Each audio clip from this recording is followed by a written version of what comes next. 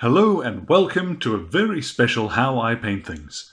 Now today we're going to cover one that's been requested a few times recently, which is the Denison Smocks for the British Paras.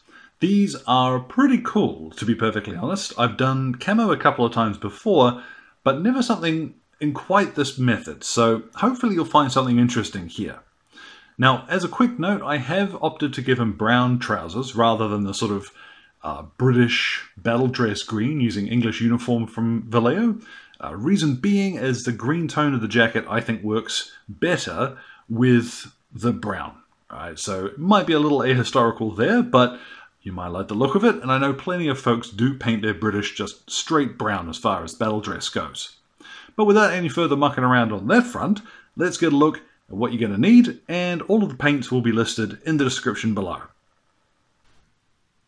Now to start off with, I sprayed this fella with some uniform grey, and then I've given him a couple of thin coats of Citadel Zandri Dust over the top of that. Uh, to be honest, I would recommend for British battle dress and all that sort of thing, Zandri Dust is 100% the easiest choice to start from, uh, particularly with these lighter Denison jackets we're going to be doing. Now I did actually already paint one of these guys, and there he is, I think he looks pretty cool, but unfortunately my phone ate the video. So we're starting over, I am determined to get this to you. Okay, so there's there's what the finished job is going to look like. Isn't that cool? Anyway, from our uh, Zandri dust, there are three colors we're going to use for the jacket, and we're going to start off with Middlestone. This is a lovely color. It's not quite gray, it's not quite green, it's definitely not brown. It's Middlestone.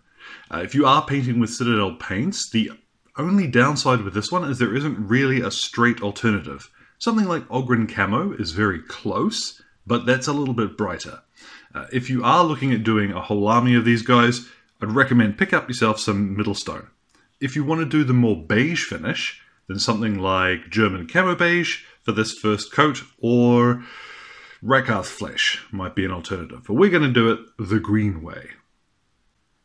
Now, as always, we're adding just a little bit of water to the mix to help the uh, paint flow off the brush. And then we're just going to go over all of the jacket. Don't be too worried if you hit skin or anything like that along the way. Um, the beautiful thing about, what's it called? Middlestone. Now don't quote me on this, don't tell anybody I said this, but it will cover Zandri Dust in one coat. so I'm going to go around now. Let's have a look at that jacket once we've got that on. Now once that's had time to dry, I'm going to swap on down to a smaller brush looking like a medium layer brush if you're using Citadel or just a one size brush from another manufacturer. And I've got this is US Dark Green. What we're going to do is to sort of simulate the paint, uh, paint, sorry, the camouflage effect, we're just going to draw some triangles and not be particularly careful about it either. Like if you end up with trapezoids or what have you, don't worry about it. What we're doing here is just blocking in some of the colors. You can go to the edges of sleeves, uh, down the bottom here, you know, just block in these little random shapes. Uh, triangles are just the easiest way to start getting that in. Once you've got the areas blocked in that you want to be uh, these different camo colors, then you can go back and add little flicky bits and what have you. Now with the Denison smocks, uh, particularly along joins of sleeves and what have you, these tended not to be the same piece of material, so Try not to cross sleeve lines with your camo pen, if you see what I mean. So I'm going to go around now and let's just blotch on some bits of green. Now once you've gone around the jacket a couple of times, you'll see some of these, you know, triangles originally have stretched out, elongated. Don't be afraid to go up and sort of imply that you're going under areas of equipment what we're going to do now is exactly the same thing again, but with uh, mahogany brown. Now this, we're just going to follow the same method. We're going to start by just drawing some little randomy triangles and then flick a bit away. So you get this random shape. You want to try and get the uh, camo pattern to sort of overlap other colors. So for example, on a sleeve here, I'm going to go and put a little bit here, Oh, that's not a triangle anymore. so cruise around the whole model and just do the same thing again.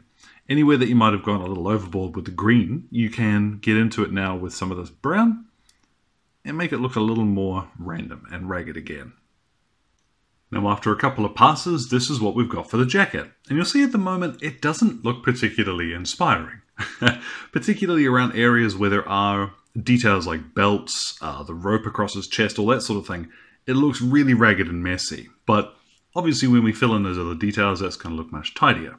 So, what I'm going to do now is exactly that. And I'm going to skip over this a little bit because I have covered British battle dress and all that before.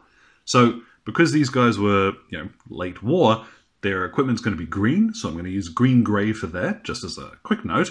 But we'll come back in a couple of seconds and have a look once all of those colours are on. So what does all of the base coats look like? Now just quickly while I'm going through these, Vallejo has a lovely colour called red.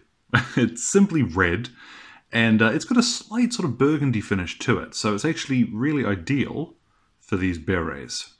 Uh, again, if you are using Citadel colors, you could stick to something like Khorne Red, for example. That'll give you a nice finish. But just, and I can't believe its its name is literally red, and it's fantastic. So just a quick coat of that while we're doing all these other colors. Now, with all of those base coats applied, it's time to shade them. And for once, I'm not going to tell you to absolutely bucket Agrax Earthshade over everything. we are still going to use Agrax Earthshade, and it is going to go over the whole miniature, but slightly more sedate than we might do normally. All you want to make sure is that it's getting into the recesses, because this is going to bring down the colours a little bit and introduce our shading too. But you don't want to go crazy with it. So you see I'm being quite careful, really. Just anywhere it starts to pull on any flat areas, drag it away straight away. But let's come back here when I've got all of this on, and then we'll give it about 30 minutes to dry. Now once it's had some time to dry, we're on to a winner. You can see it looks much better. the shading and those colours being brought down a little bit really does help the overall look, so quite pleased with that so far. What I would do from here if I was looking to get these guys on the table as quickly as possible would be to just highlight his skin and call it a day, do his basin and, get on with it. But we can go a little bit further. We'll, we'll do some extra. So what I've got here is, haha, the original three colors. So I've got my middle stone, my US Dark Green, and my mahogany brown. So I always struggle with that one for some reason. and then roughly equal amounts of Iraqi sand. Now this works really well as a, a mix-in highlight for pretty much anything that is natural, particularly clothing. Obviously, if you're doing something brighter than this, you know, you've got desert uniforms, maybe go for a white, but in this case, it's going to sort us out just fine. So all I'm going to do is mix in, like I said, roughly equal amounts you see it's quite a nice, quite a nice colour. Probably need a little bit of water there just to make sure that's going to flow. And then we can get on to highlighting the jacket like we normally would. So I'm still using just my medium layer brush here, and all I'm going to do is just pick out a few areas that I would normally want to highlight. So edges of jacket, uh, on its collar here, for example. Think about how you would normally edge highlight this stuff. So for example, here on his sleeve, all these little bits, we'll just get in there and do a bit of highlighting. So there's our middle stone highlighted. We'll now move on to exactly the same thing with the US dark green. And again, you want to just head to areas that you would naturally highlight anyway. So on the corner of his pocket here, I'm going to get the green, highlight to the edge where the green is, and I've already highlighted in the Middlestone mix. You see, so we want to try and follow a natural highlight as much as possible. So up here on a sleeve, for example, let's do that. And let's cruise around now, and we'll do it for all of the green areas too. And then finally onto our mahogany brown using the same method. Now this is probably the most time consuming technique I'm ever going to show you but it will look the absolute business once it's done. So as always, trying to follow natural highlight points you ordinarily would, and you'll find it it does sort of introduce a little bit more shape to these raggedy camo patterns that we did in the first place. So use this as an opportunity to sort of tidy up, if you want to, any of the edges of these uh, camo blotches and you'll get a really good looking effect. Now from here, all that remains is to highlight the other parts of the skin, his trousers and so forth. And like I've said, I've done that before. So I'm going to skip ahead a little bit. Let's have a look once all those highlights are done properly. Now when it comes to highlighting the beret, you can mix a little bit of Iraqi sand into that red that we used. But I do recommend just pick up a little Wazdakka red from Citadel. This stuff is the business. Just the right colour. It's got a nice, natural sort of muted red finish to it, and that's going to sort us out just fine around the edge of the beret here. And then to finish off his cap badge, just a little bit of off-white. This is way easier to do when you don't have a camera in front of you. And then finally, the painting side of things is done.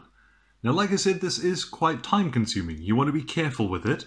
You'll get the best results if you do spend the time highlighting everything. And it can look intimidating, but my tip for brush control when you're doing these highlights, once you've mixed up your color, rinse your brush off entirely, make sure it's not wet, and then just dip back a little bit on your brush at a time into the paint. All right the big problem I see with a lot of folks trying to get these highlights and then things going all over the model. Have less paint on your brush, guys, and make sure you can keep a tip on the brush. That's really the important things there.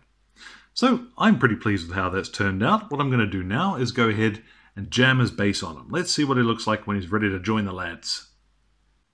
And with those last couple of details finished, we are ready. Drop him on the table and give Jerry a jolly good snorting. Now you might notice the fellow I painted earlier here has a slightly different and brighter green. Now that I've used reflective green instead of uh, US dark green. If you like the more green finish, it's pretty easy to achieve. All the other steps are exactly the same, including all the highlight stages and what have you.